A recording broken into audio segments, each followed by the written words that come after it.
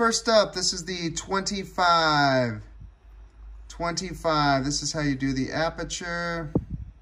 It's completely closed out. It's completely opened up. That's the 25. Next is the 30. Again, I hope this shows you. That's the 30.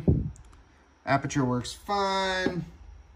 Next is the 35. That one switches it up a little bit. You can control the aperture through this.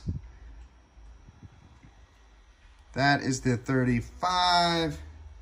Next one up is the 40. Again, you can control the aperture through this top ring, super butter smooth.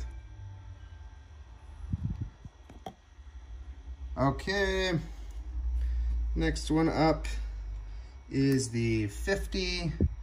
50 again is through here. Next one up is the 75. 75, you control through this right here. Next one up is the 100. That is controlled through this ring right here. Next one up is the 152. That's through this ring right here.